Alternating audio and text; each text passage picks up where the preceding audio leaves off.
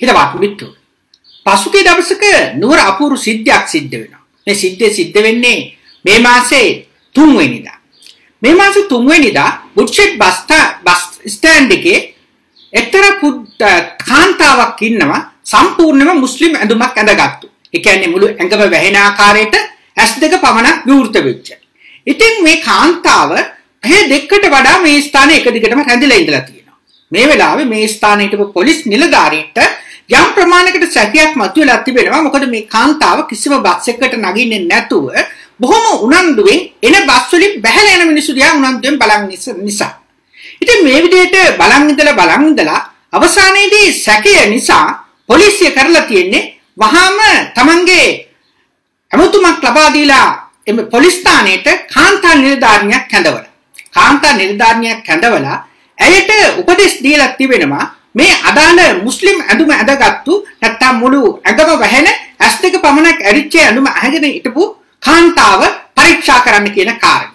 ඉතින් ඒ වෙලාවේ පොලිස් කාන්තාව ඒ ස්ථානයට ගිහිල්ලා පරීක්ෂා කරන්න හදනකොටම මේ කාන්තාව කලබල වෙලා ස්ටාර්ට් කරලා තිබ්බ බස් එකට දඩිපිටි ගාලා නගින්න පටන් ගත්තා.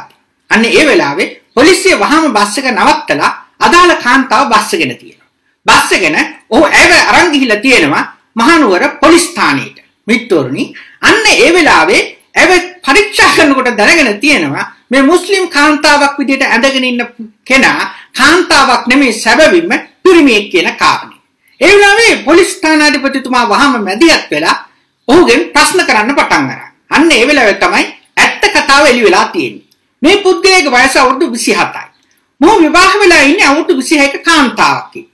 ඉතින් මේ අවුරුදු 26ක කාන්තාව රැකියාවක් කරනවා. ඒ රැකියාව කරන ස්ථානයේ තරුණෙක් සමග ඇයට ප්‍රේම සම්බන්ධයක් තියෙනවායි කියන සැකය ගෙදරට ඇති වෙලා නිරන්තරයෙන්ම ගුටි පෙටු හුමාවක් සිද්ධ වෙලා තියෙනවා. මේ වෙලාවේ පුද්ගලයාට අවශ්‍ය වෙනවා Tamange බිරිඳත් ඒ ඇගේ අනියම් ප්‍රේමවන්තයත් අතටම අල්ලගන්න. අන්නේ සඳහා තමයි ඔහු උපායක් කල්පනා කරේ. ඒ වෙලාවේ කල්පනා කරා තමන්ව අඳුරගන්න බැරි විදිහට බස් ස්ටෑන්ඩ් එකේ ඉන්න හොඳම ක්‍රමය තමයි මුස්ලිම් කාන්තාවක් විදිහට ඇඳලා එතනට වෙලා ඉඳලා කොහොම හරි අල්ලගන්න එක කියන කාරණේ. වික්ටර්නි මේක ඇතුලේ බරපතල කතාවක් තිබෙනවා. ඒ තමයි කෙනෙකුට හිතෙන්නට පුළුවන් මේ පුද්ගලයාව හැම ගහන්න ඕනේ කියලා. හැබැයි අනිත් පැත්තේ කතාව තමයි මේ පුද්ගලයා මේ තත්ත්වයට වැටෙන්නට කොතරම් දැඩි මානසික පීඩනයකට ලක් වෙලා ඇද්ද කියන කාරණේ. වික්ටෝරනි අද වෙනකොට රුපියල් පස්සේ හඹායන අපේ සමාජය ඇතුලේ ආදරය වගේ දේවල් අද වෙන්දේසියේ සේල් වෙන තත්ත්වයකට පත් වෙලා තිබෙනවා. අද වෙනකොට කෙනෙකුට හොර ගෑණියෙක් නැති එක එහෙම නැත්නම් ගෑණියෙකුට හොර මිනිහෙක් නැති එක අපේ සමාජයේ අද අඩුවක් විදිහට දකින තත්ත්වයට ඇවිල්ලා තියෙනවා. අද මිනිස්සුන්ට Facebook එකේ එක ලව් එකයි, ගෙදර තව එකයි, බස් එකේ තව එකයි, කෝච්චියේ තව එකයි. මේ තරමටම පෞල් සංස්ථාව අර්බුදයක තියෙනවා.